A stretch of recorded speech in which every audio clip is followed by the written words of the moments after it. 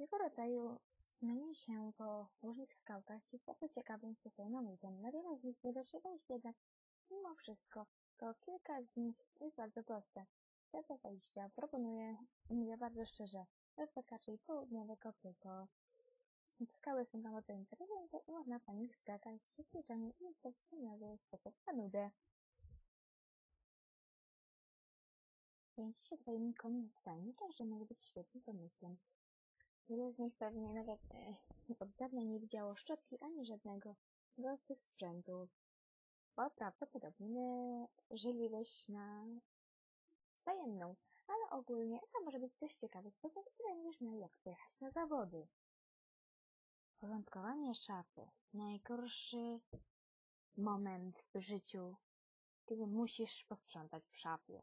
To jest straszne, ale jeśli ci się naprawdę nudzi, to możesz posprzątać. Bądź proponuję jednak mimo wszystko dwa poprzednie punkty. Chyba, że nie jesteś mną albo lubisz to robić. To może być dziwne, ale cóż, czasem trzeba. Chyba najlepszym sposobem na nudę jest pobawienie się w dzikie konie.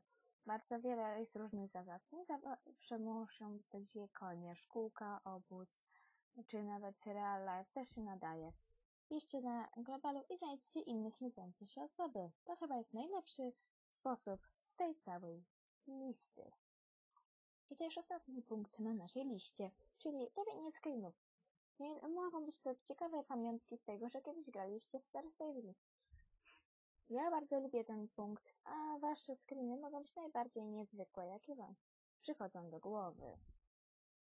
I to już wszystkie takie sposoby na nudy według mnie. Wziąłem raczej te, których nie znajdziecie w innych miejscach, takie jak trenowanie koni czy inne jakieś tam rzeczy. I raczej takie, które ja robię. Oczywiście chciałam wam jeszcze powiedzieć, że niedługo dobijemy 80, o ile dobrze pamiętam, subskrypcji. I chciałam wam powiedzieć, że przygotowuję dla was Q&A, ale Q&A jest stanie zrobić tylko dzięki waszej pomocy, więc proszę was o pytania do Q&A pod tym filmem.